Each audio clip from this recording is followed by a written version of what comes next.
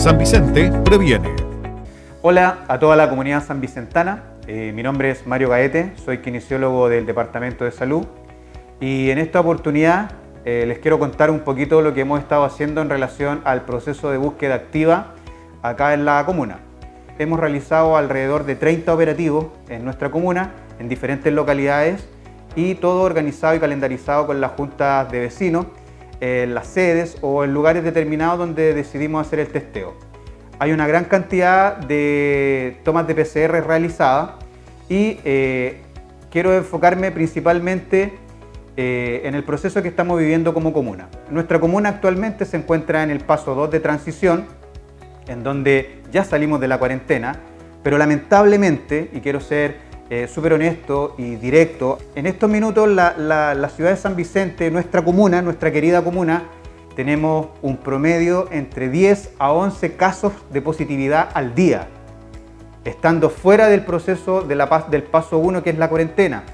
Por favor, les quiero solicitar a toda nuestra querida ciudad de San Vicente, a todos nuestros eh, conciudadanos sanvicentanos, la corresponsabilidad. Esto es responsabilidad tanto de nosotros como el área de la salud, para poder eh, enfrentar las necesidades que requieran ustedes como usuarios, pero acá la responsabilidad también es de ustedes.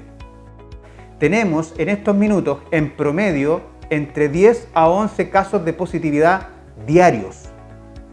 Es un número bastante elevado que anterior al proceso del paso 1 que nos encontrábamos en cuarentena, no ha variado mucho. Este mensaje es para toda la ciudad de San Vicente y todos los sanvicentanos. Por favor, esto es responsabilidad tuya. Eres tú el que tiene que cuidarse.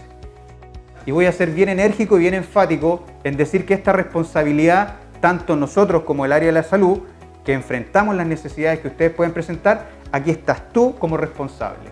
Eres tú el que tiene que tener el aislamiento físico. Eres tú el que tiene que tener el uso de la mascarilla, el uso correcto y el, bien lavado, el buen lavado de manos. Y por favor, por favor, te lo digo, cuídate y cuida al que está a tu lado.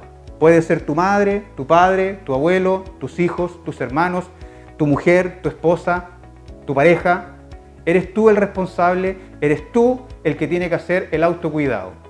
Así que les dejo un mensaje, un mensaje para que sigan cuidándose, sigan siendo enfáticos en las medidas preventivas y por favor, respétate a ti y respeta al otro también.